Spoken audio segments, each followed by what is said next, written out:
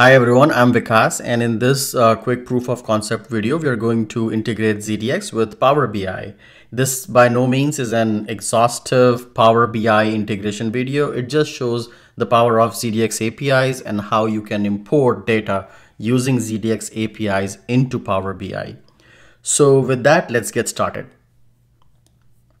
So as a first step, uh, what you need to do is create a create a ZDX API key uh, so you'd go ahead and create an API key here and assign it the role which you would like to like it to assign. So you can just give it a read-only ro role or a read-only role with deep tracing uh, based on what your purposes are.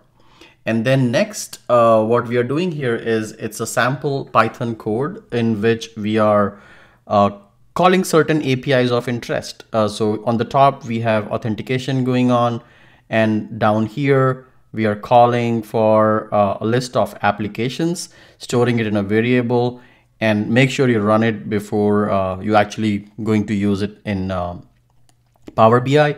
So let's run it. And uh, we should soon have output here. So yeah, this just to make sure that the Python code is working. Now the next step is to go to Power BI. And the first step which you do after going into Power BI is making sure that the right Python interpreter is selected if you are using Python to import data into uh, Power BI. So here we have Python scripting and we have the right path to the Python interpreter set. Now the next step is to go to get data, click on more, and then here uh, what we are going to do is look for the Python uh, plugin, Python's uh, source uh, to pull data. Type in Python, click on Python script, hit connect. And then here you're, you're going to paste the Python code which you wrote. So let's go back here.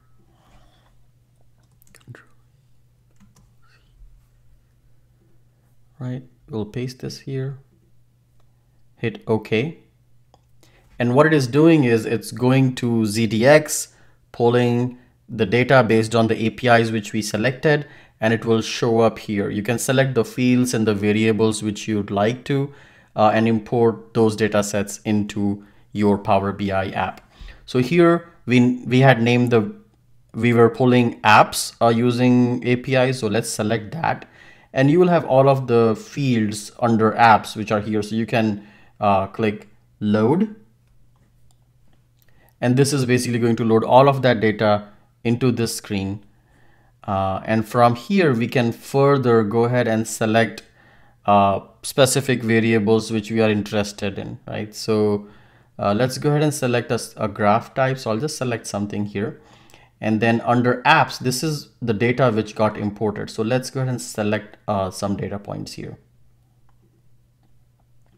And as you may see, uh, the graph starts to populate and uh, we have data in Power BI. I hope this was informative and thank you for viewing.